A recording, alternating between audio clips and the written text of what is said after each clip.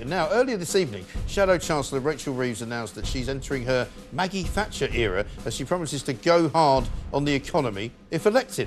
And that's looking like a strong possibility at the moment, despite Rishi Sunak's best efforts. But can you really trust Labour to deliver a strong and stable economy?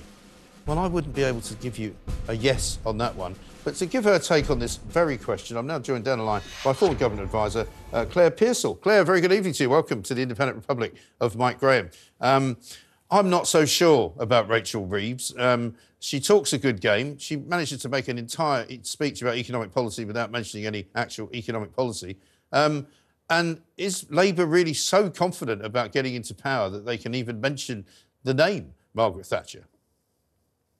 Well, it does seem as if they're uh, looking at the Conservatives uh, for all of their economic policies uh, going forward. When you think about what it is Rachel Reeves has actually put forward, it is no different to Rishi Sunak when he was Chancellor. Um, investments that Margaret Thatcher wanted to make, you know, encouraging businesses to invest, the private sector working alongside government, improving tech skills, which was a big one from Rishi Sunak, and uh, cementing Britain's uh, position as an innovative economy. So all I think she's done is take the really interesting and good parts of what the Conservatives have done over the decades and added a few words, but no specifics to what Labour would actually do different and why it would work differently. Yes. And it seems to me that, you know, with all of these comparisons going on about whether this is like 1979 or whether it's like 1997, you know, Thatcher was able to unleash the power of the sort of financial services industry, which previously didn't exist. She was able to offer, you know, people the ability to buy their own council homes. She was able to offer people shares uh, in in companies that were publicly owned, and all of that. Blair, by contrast, was able to kind of completely change and revolutionise the way we all lived. He brought the digital age to Britain and all of that. You know, I don't see any of those kinds of opportunities for Keir Starmer to suddenly change the way we live. No, and of course, we mustn't forget that one of Labour's big policies was, of course, this green revolution. Mm. Whether you agree with it or not, I they don't. wanted to put it. 20, I, I didn't think you did. And I'm with you on this. 28.5 billion pounds was meant to go into the green economy. Well, yeah where was that coming from? And now they've had to U turn on it. So their fiscal policy has basically fallen apart over just one pledge. Mm. So I think it's down to about 4.7 billion now. So I think we're starting to see these things eke away. And of course, there was the great uh, non dom tax status, which right. Jeremy Hunt, the Chancellor, has uh, removed away already. So yes. that also leaves a massive hole of 2.7 billion in uh, Labour spending fees. Yeah, and the other problem they're going to have is the immense amount of money that currently this government's spending uh, on illegal mi- migrants coming into to the country. Billions and billions of pounds. It seems to double about every sort of three to six months. I mean, God knows what it's going to be like by the time we get to the end of 2024.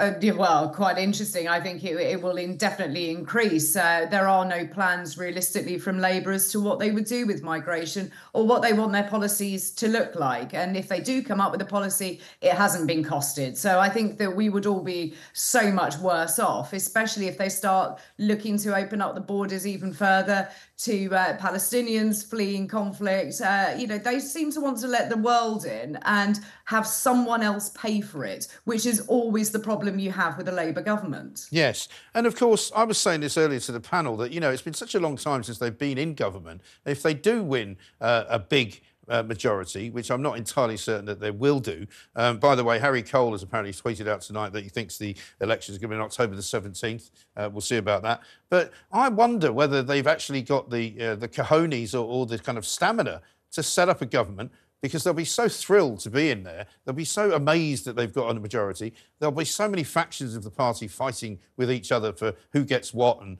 how much money can the Treasury give for all their pet projects. I think it'll be chaos.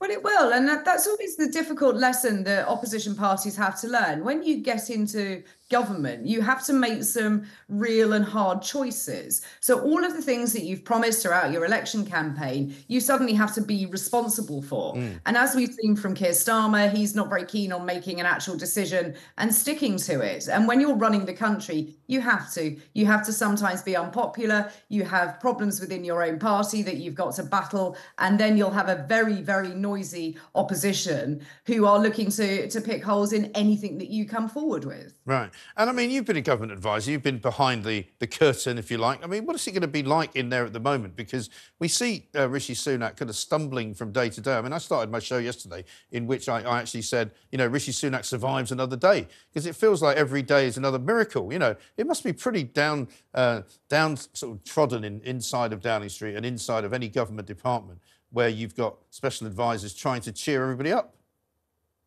Yeah, I mean, it will be really difficult. Most departments are going to be under enormous pressure.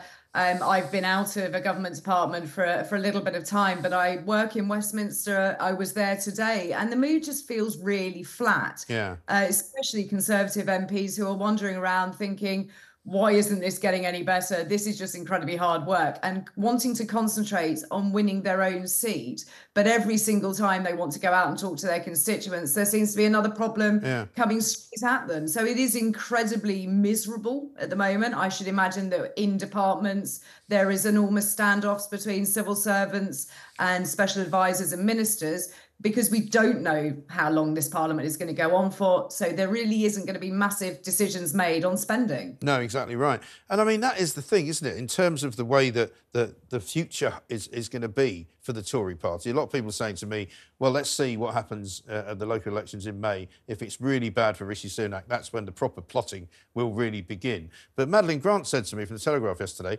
um, you know, where is the low point? Because every time you think you've reached it, it gets even lower.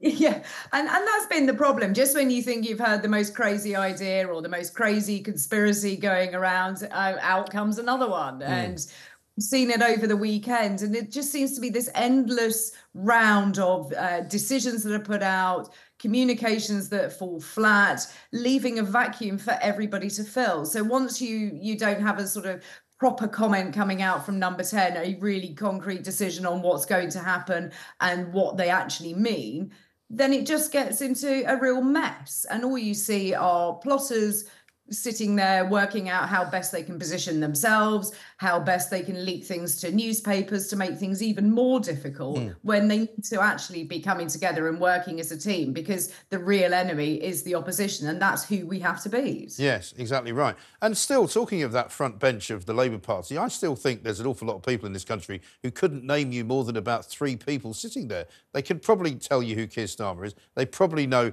who Angela Rayner is. They might even know David Lammy, but that's about it, isn't it?